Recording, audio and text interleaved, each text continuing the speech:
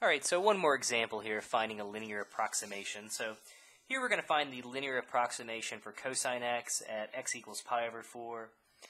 Alright, so again, if we plug pi over 4 into our function, well, we get cosine of pi over 4, and that's just root 2 over 2.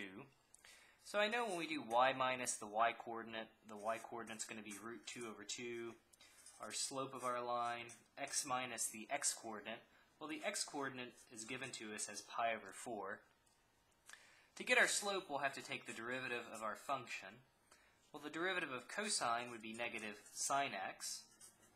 If we plug in pi over 4, well, we'll get negative sine of pi over 4.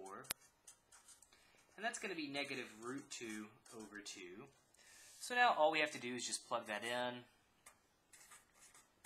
So we have y minus root 2 over 2 the slope of our tangent line, our linearization, will be negative root 2 over 2. Then we'll have x minus pi over 4. And now I'm just going to, you know, uh, just multiply things out a little bit, just uh, get y by itself. So if we distribute, we'll have negative root 2 over 2x. Um, I guess we'll get a positive uh, when we multiply, so we'll have positive root 2 times pi over 2 times 4, which would be 8 we can add the uh, positive, we can add over root 2 over 2.